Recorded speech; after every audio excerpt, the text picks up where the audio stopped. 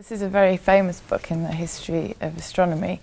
It's a book called Sidereus Nuncius in Latin, which translates as the Starry Messenger, and it was written by um, Galileo.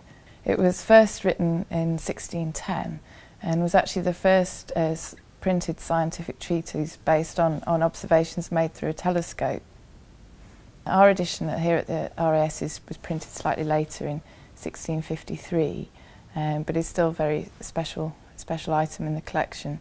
You can see in the, the images of the moon in, in the textbook um, support Galileo's um, discovery that um, the, the, the areas of light and dark on the moon uh, were actually caused by the presence of mountains on it. Previously, it had been thought that the, the moon was, was entirely smooth on the surface, and these woodcuts here really bring out that discovery.